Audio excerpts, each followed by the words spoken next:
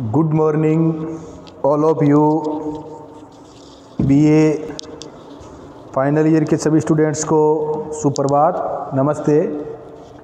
जैसा आपको विदित ये है कि हमारे महाविद्यालय का जो दीपावली का अवकाश है, वो 8 नवंबर से लेकर 18 नवंबर तक था तो उससे पहले मैंने आपको वीडियो भेज चुका हूँ।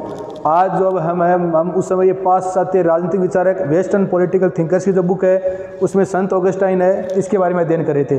संत ऑगस्टाइन का आपको पता है, इसका जन्म तीन सौ ईस्वी और कहाँ हुआ था? उत्तरी अफ्रीका का जो रोम, जो अभी वर्तमान में इटली की राजधानी है, रोम का जो नुमिडिया नामक प्रांत है, इसमें इनका क्या हुआ था? जन्म हुआ था। ये बचपन से क्या थे? प्रतिभाशाली थे। तो संत ऑगस्टाइन की आज हमारे इसका एक प्रमुख सिद्धांत है, दो राज्यों की धारणा। इसके बारे में अध्ययन करेंगे। बार बार विभिन्न एग्ज़ाम में यहाँ से क्वेश्चन है वो पूछा गया है, दो राज्यों की धारणा।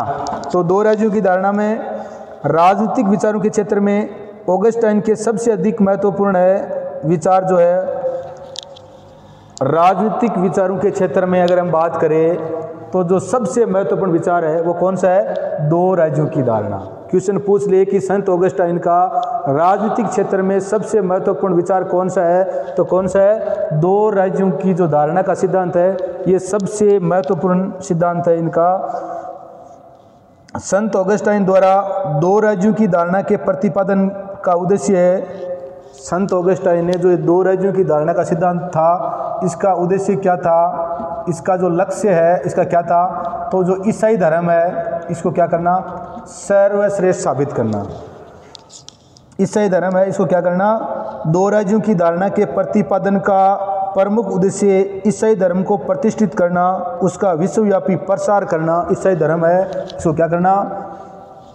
प्रतिष्ठित करना ईसाई धर्म है, इसको प्रतिष्ठित करना, उसका विश्व स्तर पर क्या करना? प्रचार प्रसार करना ईसाई धर्म को प्रतिष्ठित करना, उसका विश्व स्तर पर प्रचार प्रसार करना और एक सर्व, एक सार्वभौमिक ईसाई संघ की स्थापना करना। और एक सार्वभौमिक ईसाई संघ की क्या करना? स्थापना करना। ईसाई संघ की स्थापना करना, यही क्या था? इनका दो राज्यों की धारणा, इस जो सिद्धांत है, इसका उद्देश्य था ईसाई धर्म है इसको प्रतिष्ठित करना, विश्व में इसका प्रचार प्रसार करना और विश्व में क्या बनाना, एक ईसाई संघ है, वो बनाना। ये इसका क्या था? प्रमुख महत्वपूर्ण कारण था।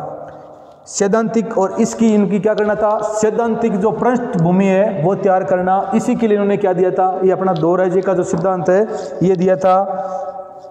ऑगस्टाइन की धारणा के जो दो राज्य हैं, ऑगस्टाइन की जो धारणा के ये दो राज्य हैं। ऑगस्टाइन की धारणा के जो दो राज्य है तो हम इस बता चुका हूँ मैं आपको, एक तो है सांसारिक राज्य। सांसारिक राज्य। सांसारिक राज्य या शैतान का राज्य। एक तो है सांसारिक राज्य या शैतान का राज्य तो ध्यान रखना है ऑगस्टाइन का तो दो राज्यों का सिद्धांत, इसका उद्देश्य क्या था? ये ईसाई धर्म को प्रतिष्ठित करना चाहता था, पर विश्व स्तर पर इसका प्रचार प्रसार करना चाहता था, और ईसाई संघ की क्या करना चाहता था? स्थापना करना चाहता था, और इसके दो सिद्धांत है। ये एक तो था सांसारिक राज्य या शैतान का राज्य। एक तो है, सांसारिक राज्य पूछ ले कि दो राज्य की जो कौन कौन से दो राज्य थे तो पहला है सांसारिक राज्य या शैतान का राज्य और दूसरा है ईश्वरीय राज्य शिवटाज डाई। दूसरा है ईश्वरीय राज्य शिवटाज डाई, जो इनकी एक प्रमुख ईश्वरीय राज्य, इनकी एक प्रमुख पुस्तक भी थी। तो इन्होंने ऑगस्टाइन की धारणा के दो राज्य, एक तो सांसारिक राज्य या शैतान का राज्य, दूसरा है ईश्वरीय राज्य। उसने दो राज्यों की धारणा का प्रतिपादन व्यक्ति के, इन्होंने जो दो राज्य की जो ये धारणा है, इसका प्रतिपादन करने का कारण क्या था? संत ऑगस्टाइन मानते हैं कि मनुष्य का स्वभाव भी क्या है? दोहरा है। इन्होंने दो राज्य की धारणा इसलिए की है कि ये मानते हैं कि जो मनुष्य है या व्यक्ति है इसका स्वभाव भी क्या है? दोहरा है। तो मनुष्य के स्वभाव के आधार पर इन्होंने दो राज्य की क्या की? धारणा की। एक तो ईश्वरी राज्य और दूसरा क्या है? एक तो सांसारिक राज्य और दूसरा क्या है? ईश्वरी राज्य। अब जो हमारा शरीर है, इसको इन्होंने किसकी संज्ञा दी है? ईश्वरीय राज्य की। और जो हमारी आत्मा है, हमारा शरीर है, इसको इसने किसकी संज्ञा दी है? सांसारिक राज्य की। हमारी इच्छाओं को है, वो सांसारिक राज्य की संज्ञा दी है। और ईश्वरीय राज्य इसको क्या संज्ञा दी है? मनुष्य की जो आत्मा है, जो मनुष्य का जो आध्यात्म है, उसको किसकी संज्ञा दी है? ईश्वरीय राज्य की। उसने इन दो राज्यों की धारणा का प्रतिपादन व्यक्ति के दोहरे स्वभाव के आधार पर किया है कि व्यक्ति का स्वभाव क्या दो है। उसके या संत ऑगस्टाइन के विचार अनुसार व्यक्ति के स्वभाव के दो रूप है। एक तो सांसारिक राज्य, जो ये क्या होता है? ये बोलता है कि व्यक्ति के स्वभाव के दो रूप है। एक तो सांसारिक राज्य और ये क्या होता है? ये शरीर होता है। एक तो होता है सांसारिक राज्य, जो क्या होता है, इन्होंने शरीर को कहा है, एक सांसारिक राज्य को ये शरीर से संबंधित होता है और दूसरा होता है आध्यात्मिक। एक तो होता है सांसारिक राज्य, जिसका संबंध किससे होता है? शरीर से। दूसरा होता है ईश्वरीय राज्य, जिसका संबंध किससे होता है? आत्मा से या आध्यात्म से। आत्मा से या आध्यात्मिक से संबंध होता है। तो समझ गए आप कि मनुष्य के स्वभाव में दो गुण पाए जाते हैं, ये मानता है, दोहरा स्वभाव होता है। एक तो क्या होता है, उसका सांसारिक जो शरीर है, ये संसार में रहता है। इस लोक में रहता है और दूसरा हमारा जो आत्मा है, वो क्या रहती है? वो आध्यात्म है। ठीक है ना? पारलौकिक इस लोक से परे होती है। तो ये दो राज्य का ये सिद्धांत है। एक सांसारिक राज्य जो शरीर से संबंधित होता है और दूसरा आध्यात्मिक, जिसका संबंध किससे होता है? आत्मा से होता है।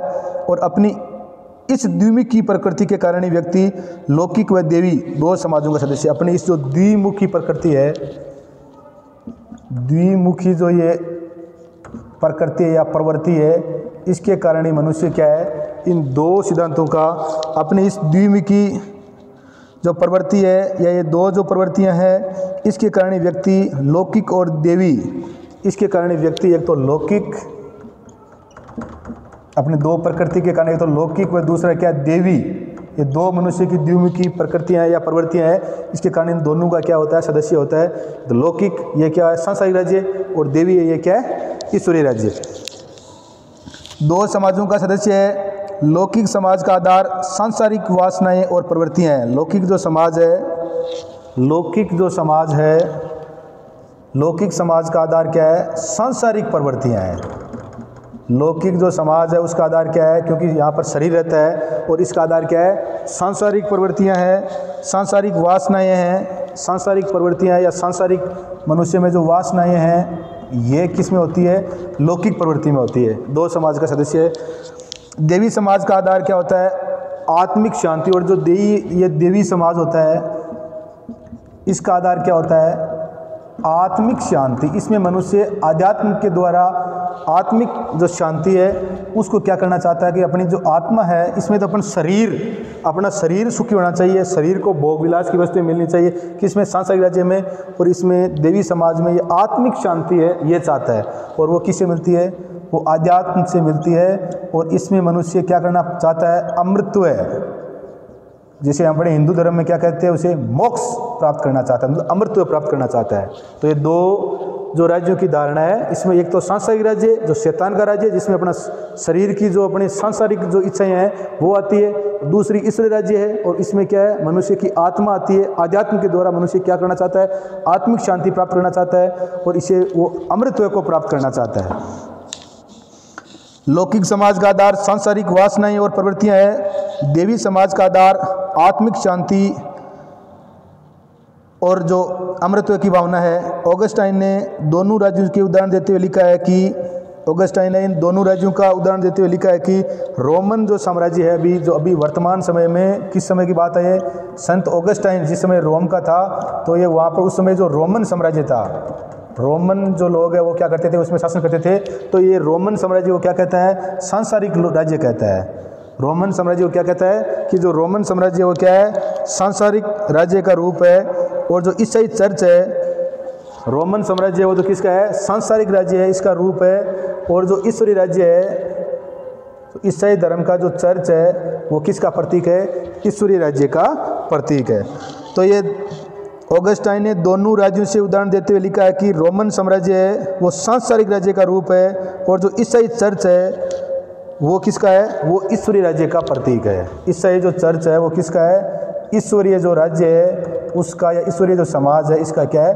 प्रतीक है। तो अपना जो दो राज्यों की धारणा या दो जो सिद्धांत ये बता रहा है संत ऑगस्टाइन, इसमें इसने जो, इससे ही अपना चर्च है, इसको दिस अपने पढ़ाई है कि भाई इसका दो राज्यों की धारणा का सिद्धांत उद्देश्य क्या है? ईसाई जो ईसाई धर्म है, इसको ये प्रतिष्ठित करना, इसका विश्व पर प्रचार प्रसार करना और ईसाई संघ की क्या करना? स्थापना करना। और इसी के माध्यम से ये क्या बोल रहा है कि ये तो रोमन साम्राज्य, ये तो सांसारिक राज्य है और इसका काम क्या है? इसका काम यही है, अपने शरीर की जो काम वासनाएँ है, उसको क्या करना है? भोग विलास है इसकी क्या करना है? पूर्ति करना है। जबकि जो ये ईसाई जो चर्च है, ये क्या है? ईश्वरीय राज्य है और इसका काम क्या है? अपने आत्मा है। इसको क्या देना? शांति प्रदान करना और अमृत्व की प्राप्ति करना, मोक्ष को प्राप्त करना। तो ये सिद्धांत बताया इन्होंने। तुलना की दोनों की। अब सांसारिक राज्य था इस सांसारिक राज्य और ईश्वरीय राज्य है। सांसारिक राज्य व ईश्वरीय राज्य की तुलना। इन्होंने सांसारिक राज्य इसको रोमन साम्राज्य को कहा है और ईश्वरीय राज्य किसको कहा है? जो ईसाई धर्म का चर्च है, उसको क्या कहा है? ईश्वरीय राज्य कहा है। इन दोनों की क्या की है? तुलना की है। किसने? संत ऑगस्टाइन ने। ऑगस्टाइन ने सांसारिक राज्य तथा ईश्वरीय राज्य के कुछ लक्षण बताए हैं और इन्होंने कहा है कि सांसारिक राज्य की तुलना में ईश्वरीय राज्य वो क्या है? श्रेष्ठ है। सांसारिक राज्य की तुलना में जो ईश्वरीय राज्य है, जो चर्च का, ईसाई धर्म का जो चर्च है, वो क्या श्रेष्ठ है। और वो श्रेष्ठ किस प्रकार से है? सबसे पहले जिसने बताया, लक्ष्य की दृष्टि से। सबसे पहले संत ऑगस्टाइन ने बताया कि लक्ष्य की दृष्टि से जो ईश्वरीय राज्य है, वो क्या है? श्रेष्ठ है। सांसारिक राज्य का लक्ष्य मात्र क्या होता है? ये कहता है कि संत ऑगस्टाइन सांसारिक जो राज्य है, इसका लक्षण या लक्ष्य मात्र क्या होता है? शक्ति प्राप्त करना। सांसारिक राज्य यही चाहता है कि मैं ज़्यादा से ज़्यादा क्या करूँ? शक्ति प्राप्त करूँ। मेरे पास शक्ति होनी चाहिए, जबकि ईश्वरीय राज्य का लक्ष्य क्या है? न्याय है। जबकि ईश्वरीय राज्य है, उसका क्या है? न्याय। इसका शक्ति प्राप्त करना और इस राज्य क्या है, न्याय करना। राज्य के जो नागरिक है, उनको न्याय मिलना चाहिए। तो ये लक्ष्य है, इसका शक्ति प्राप्त करना और इसको क्या करना है? न्याय प्राप्त करना। दूसरा है, आधार की दृष्टि से आधार, हमने पढ़ा ये दो राज्यों की जो धारणा का आधार है। तो आधार की दृष्टि से, आधार है इसमें सांसारिक राज्य वो किसका राज्य है? शैतान का राज्य है। सांसारिक राज्य वो किसका राज्य है? शैतान का राज्य है। इसलिए रोमन साम्राज्य को क्या बता रहा है कि ये शैतान का राज्य है। तो सांसारिक राज्य वो शैतान का राज्य है, जिसका आधार है क्या है? आत्म प्रेम है। जिसका आधार क्या है? सांसारिक राज्य है, वो शैतान का राज्य है और जिसका आधार क्या है? आत्म प्रेम मतलब खुद को प्रेम करना। जबकि जो ईश्वरीय राज्य हैं, उस, वो किसका है? ईश्वरीय राज्य वो किसका है? ईसा मसीह का है। ईश्वरीय राज्य है, वो किसका है? ईसा मसीह का है, क्योंकि ईसाई धर्म की स्थापना किसने की थी? ईसा मसीह ने की थी तो जबकि ईश्वरीय राज्य वो ईसा मसीह का है, और जिसका आधार क्या है? इसका आधार है ईश्वर से प्रेम करना।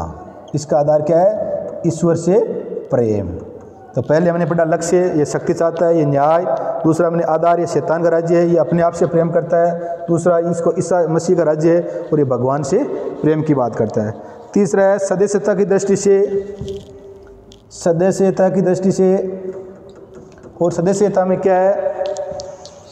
सांसारिक राज्य के सदस्य क्या कौन होते हैं? गैरीसाई भी हो सकते हैं या गैरीसाई होते हैं। ये बोलता है संत ऑगस्टाइन कि जो सांसारिक राज्य है, जो शैतान का राज्य है, उसके सदस्य कौन होते हैं? गैर ईसाई मतलब इसके सदस्य नहीं ईसाई है वो, सांसारिक राज्य के क्या नहीं होते हैं? सदस्य नहीं होते हैं। जिन्हें ईश्वरी राज्य में प्रवेश ये ऐसे बोलता है कि इसके सदस्य वो गैर ईसाई होते हैं और इनको ईश्वरी राज्य में प्रवेश का अधिकार नहीं है, क्योंकि ये गैर ईसाई है, ये भोगी है, विलासी है, इसलिए ये ईश्वरी राज्य में क्या नहीं कर सकते, प्रवेश नहीं कर सकते। संत ऑगस्टाइन कहता है, इसके विपरीत पारलौकिकता से संबंधित ईश्वरी राज्य की सदस्यता ईश्वर की कृपया प्राप्त ईसाइयों जबकि ये बोलता है, जो ये ईश्वरी राज्य है, इसकी प्राप्ति है वो किसको होती है? ईसाइयों को मिलती है। ठीक है ना? जो ईसाई धर्म के लोग होते हैं वो ईश्वरी राज्य में निवास करते हैं। या स्वर्गीय आत्माओं तथा देवगण। या तो ईसाई धर्म के लोग, या स्वर्गीय आत्माएँ और या देवगण लोग ही ईसाई जो ईश्वरी राज्य है, उसमें निवास कर सकते हैं। जबकि जो ये सांसारिक राज्य या शैतान का राज्य है, इसमें गैर ईसाई होते हैं। इसमें ईसाई धर्म के लोग हैं, वो निवास नहीं करते और ये गैर ईसाई होते हैं। ये ईश्वरी राज्य में इनके प्रवेश पर क्या होता है? प्रवेश ये नहीं कर सकते और ईश्वरी राज्य में ये बोल रहा है कि ईसाई महान जो आत्माएँ हैं, स्वर्गीय आत्माएँ जो स्वर्ग में निवास कर रही है और देवगण लोग ईश्वरीय राज्य में क्या करेंगे? निवास करेंगे। तो ये बातें हैं। अगला एक और बता रहा है, ये व्यवहार की दृष्टि से भी इनकी तुलना कर रहा है। किसकी? सांसारिक राज्य और ईश्वरीय राज्य की व्यवहार की दृष्टि से बता रहा है कि सांसारिक राज्य का व्यवहार है वो। ये बता रहा है कि जो सांसारिक राज्य है, इसका व्यवहार जाति, धर्म, रंग, भाषा, सांसारिक राज्य है, इसका जाति, धर्म, रंग है, जाति है, धर्म है, स्थान है, रंग है, जाति है, धर्म है, भाषा है और स्थान है। इसके आधार पर इनका सांसारिक राज्य का राज्य का व्यवहार है और रंग है, जाति है, धर्म है, स्थान है, आदि अनेक प्रकार के भेदभावों पर आधारित है। ये अनेक प्रकार के भेदभावों के आधार पर या भेदभाव इनके आधार इनमें जाति के आधार पर, रंग के आधार पर, स्थान के आधार पर, भाषा के आधार पर क्या किया जाता है? भेदभाव किया जाता है। जबकि ईश्वरीय राज्य के व्यवहार में किसी भी प्रकार का जबकि ईश्वरीय राज्य के व्यवहार में किसी भी प्रकार का भेदभाव नहीं किया जाता है। संत ऑगस्टाइन कहता है कि सांसारिक राज्य में जाति, धर्म, रंग, भाषा, स्थान के आधार पर भेदभाव किया जाता है, जबकि ईश्वरीय राज्य में किसी भी प्रकार का, किसी भी आधार पर, किसी भी व्यवहार के अनुसार भेदभाव है नहीं पाया जाता। ईश्वरीय राज्य के सभी नागरिक प्रेम तथा ईश्वरीय राज्य के सभी नागरिक प्रेम तथा एकत्व की भावना से, ईश्वरीय राज्य के सभी नागरिक है, ये प्रेम तथा एकत्व की भावना से या इन सभी नागरिकों में प्रेम तथा एकत्व की भावना है, वो पाई जाती है या प्रेम तथा एकत्व की भावना से ये प्रेरित होते हैं और ईश्वर में तथा एक दूसरे में सब जाने का, ईश्वर तथा एक दूसरे में समा जाने का ये आनंद लेते हैं। तो आज हमने हमारी इस कालांश में संत ऑगस्टाइन का जो दो राज्यों की धारणा है, इसके बारे में अध्ययन किया तो मेरे को ऐसे लग रहा है, आपको ये वीडियो दो तीन बार देख लोगे, आराम से समझ में आ जाएगा। और हमारी जो बुक है पाश्चात्य राजनीतिक विचारक, इसमें संत ऑगस्टाइन है, इसका अध्ययन कर लेना। और वीडियो को लाइक, शेयर व सब्सक्राइब करते रहो। जय हिंद, जय भारत।